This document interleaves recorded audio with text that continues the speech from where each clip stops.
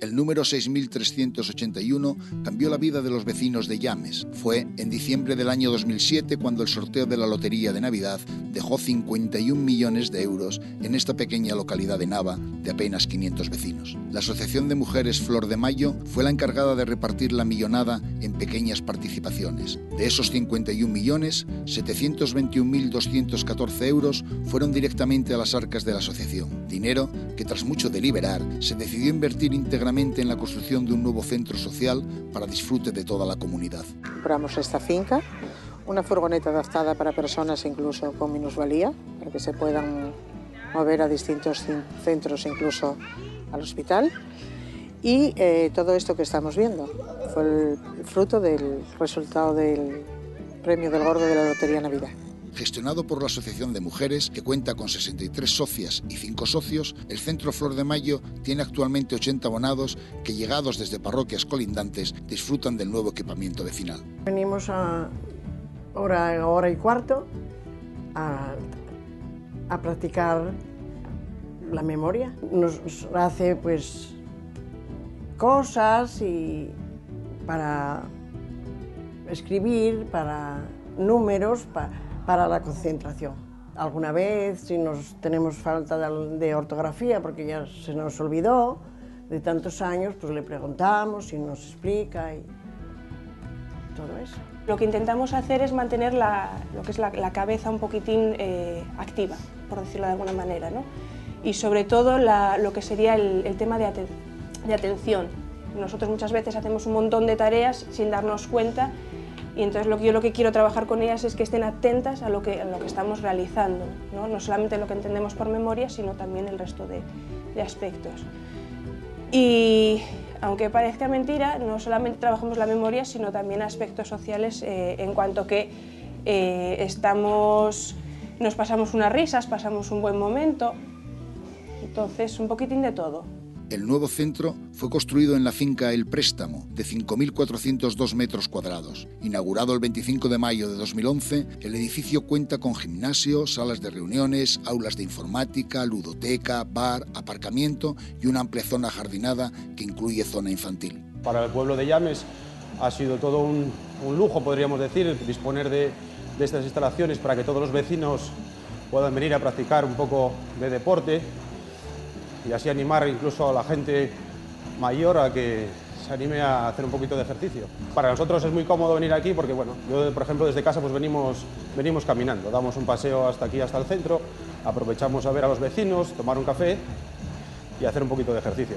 Las mujeres de Flor de Mayo han puesto especial empeño y cariño en animar y dinamizar a la población, ofreciéndoles actividades deportivas, lúdicas, formativas, manualidades o talleres de memoria, de las que disfrutan tanto niños como mayores. Soy la monitora de actividades físicas y deportivas en, el centro de, Asociación de Mujeres de Llames. Eh, hacemos diferentes actividades, tenemos varios grupos. Desde un principio hubo muy buena acogida, te tienes que ir haciendo con el grupo tienes que ir convenciendo a la gente, pero una vez que empieza a rodar, pues ya cogen el hábito, ven los beneficios y el día que faltan, pues lo nota la clase y lo notan ellos mismos porque cada día pues van mejorando, no solo físicamente, sino en el aspecto social y de interactuar con el resto de vecinos y de, gente que, que se implica en el centro. Tienes donde ir a hacer actividades, no tienes que estar todo el día en casa, vienes, tienes actividades, tienes entretenimiento. Pero más allá del premio que cambió la suerte de esta parroquia rural, el centro social se ha convertido en un paraíso para una vejez más feliz de los más mayores de Llames y un rincón de ocio y entretenimiento para los más jóvenes del lugar. Estamos en una zona rural, como bien veis,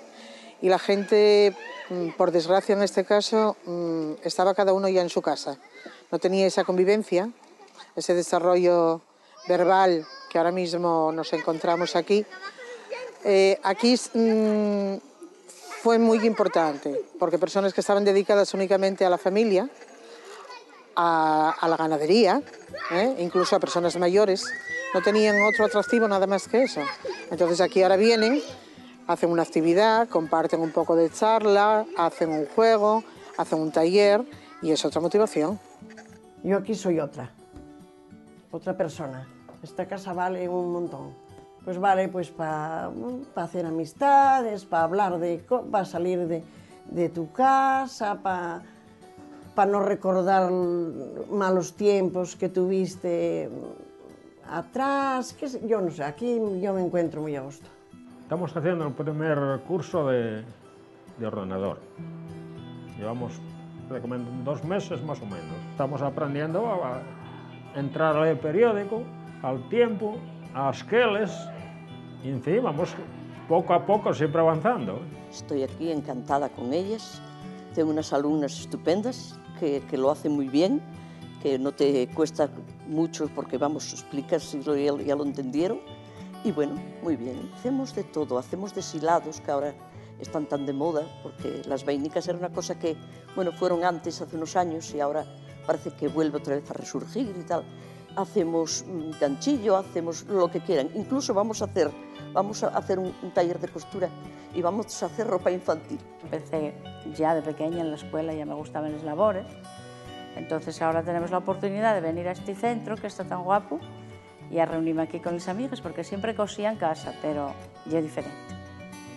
Más guapo aquí, entre todos en reunión, charlamos, contamos chistes, lo pasamos en grande. Luego que terminamos, pues tomamos el café, cosemos los miércoles de, de 4 a 6 y aquí estupendamente con todas las amigas. Yo he enseñado inglés a los niños y adultos en este centro y otros lugares, pero especialmente aquí. Encantan los niños y clases con adultos, todos es diferentes, cada día, cada, cada clase es diferente. La iniciativa vecinal de la parroquia rural de Llames, amenazada como otras por el envejecimiento y la despoblación, recibió además una ayuda económica del eje líder, gestionado por la Asociación Integral de la Comarca de la Sidra. El Grupo de Desarrollo Rural tuvo en cuenta que en el medio rural los servicios constituyen un elemento clave en el mantenimiento de la población.